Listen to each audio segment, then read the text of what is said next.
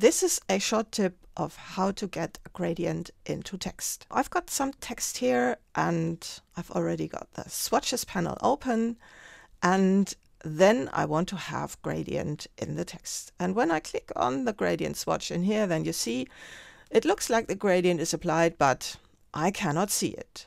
Let's undo that and let's see how to get the gradient into text.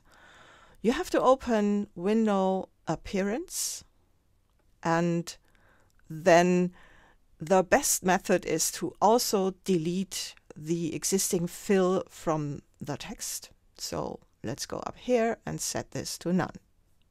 Text is invisible now. In the appearance panel, let's make it slightly smaller. There you can go to this button, add new fill, or you can do the same from the menu, add new fill, there we've got the black fill again. And when you now click on the gradient swatch, then you get the gradient swatch in the text. And then you can also go to the gradient panel and set up the gradient, or you can use the gradient tool to set up the gradient like so. So this is how you get gradient into text.